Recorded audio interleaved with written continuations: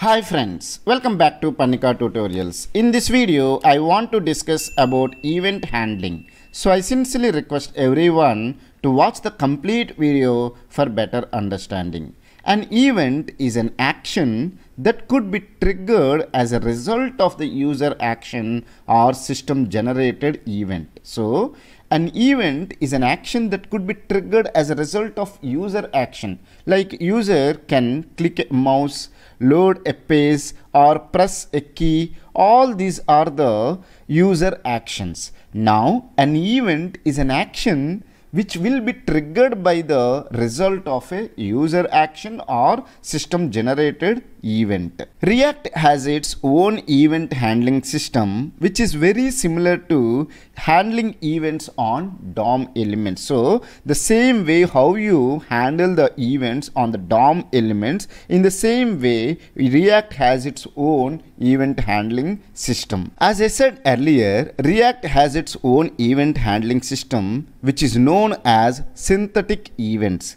The synthetic event is a cross-browser wrapper of the browser's native event. So React has its own event handling system which is a synthetic events. Now let me discuss how can we handle the events in the functional component and then I will discuss how can we handle the events in the class component. To explain this one, let me go to the Visual Studio and in the components, let me create a new file and then keep a name as event fun c.js.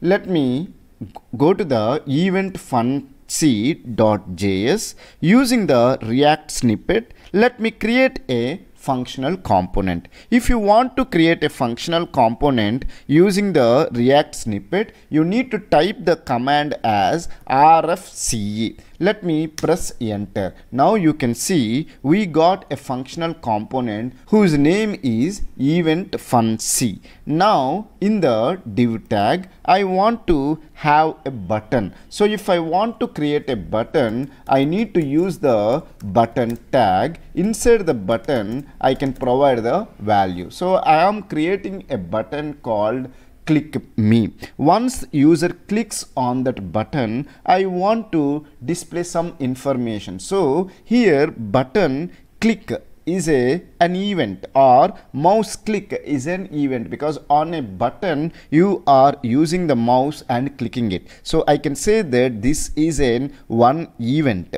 now let me go to the app.js and then I want to import this event fun. So how can I import? I need to write import event fun c from components event fun c okay so in the event func.js you have the functional component called event func that i am importing now in this div tag i need to provide the tag called event func let me save this app.js let me save this event.js let me go to the browser and let me refresh it. Now you can see we got a button called click me. Now if user clicks on this button nothing will happen but I want to handle this event and then I want to display some information. So when the user clicks on this button,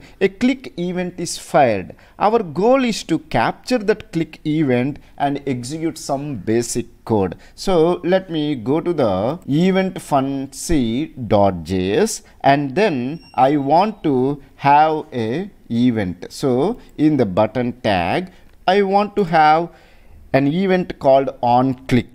Remember one important point. React events are named as camel case instead of lowercase. So you need to provide on click is an event and then provide the equal inside the curly braces you need to provide the event handler. What is that event handler i want to provide? I want to provide click handler. And now i need to provide the function called click handler. You know that in javascript within a function you can define another function. So in the function event function func i will define one more function called click handler. So if you want to define any function you need to use the keyword called function and then you need to write click handler and then open the braces and then I want to write console.log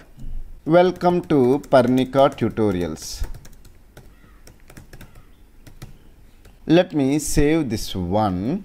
Let me save the app.js, go to the browser and let me refresh it again. And then click on this button called click me. Now you cannot see any output okay? Right click on this browser. Click on inspect and then you can go to the console. Now let me click on this button called click me. Now you can see we got an output as welcome to Parnika tutorial. So once the user clicks on this button a click event has been fired and once that event has been fired I want to display welcome to Parnika tutorial. So this is the way you can handle the events in the function component. And remember one important point in the functional component. Whenever you are providing a event handler it should be a, a function. It should not be a function call. If you call the function instead of providing that a function in the event handler if you provide a function call then see what will happen. Let me save the event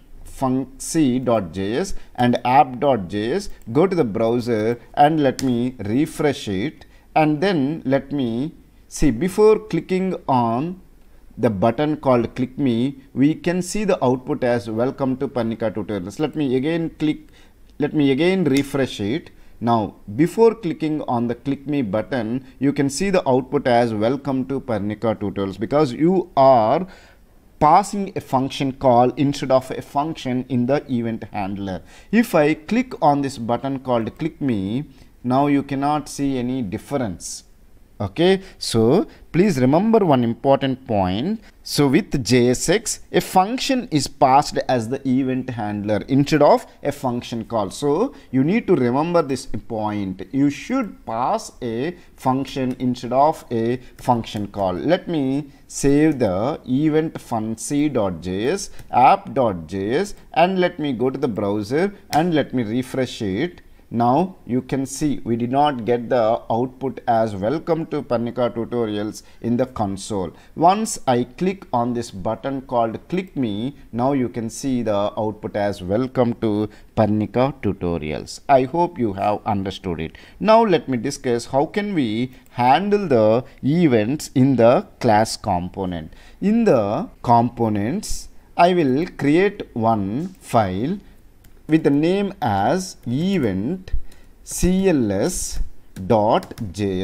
In the event cls.js using the react snippet I want to create a class component. If you want to create a class component then you need to provide RCE and press enter. Now you can see we have one class component called eventcls in eventcls.js.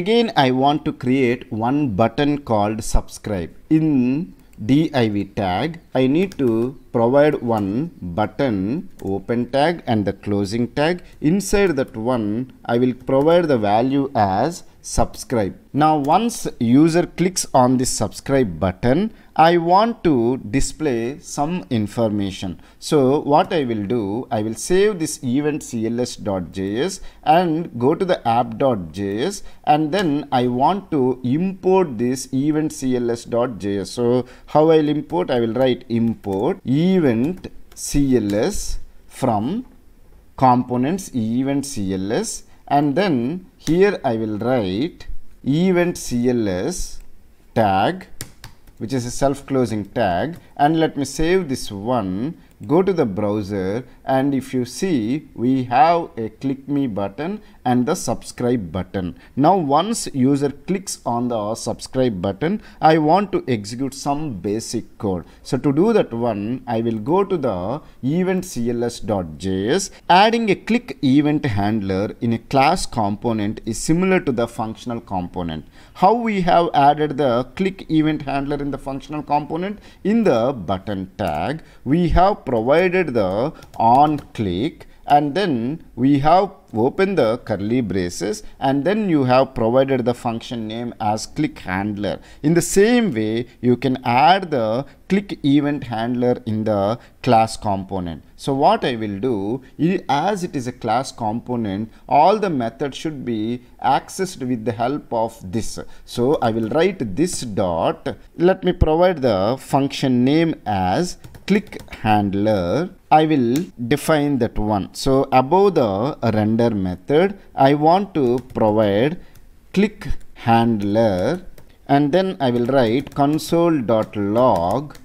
I will write please subscribe to my channel. Okay, let me save the event cls.js app.js and then let me go to the browser and let me refresh it and then let me click on the subscribe button. Now you can see we got the output as please subscribe to my channel. If i click on click me button now you can see we got the output. Welcome to Parnika tutorials also. So like this we can handle the events in the function component and also in the class component I hope you have understood it. If you still have any doubts related to this concept, feel free to ask me in the comment section. I will try to clear your doubts as early as possible. Thank you for watching the complete video. Have a nice day.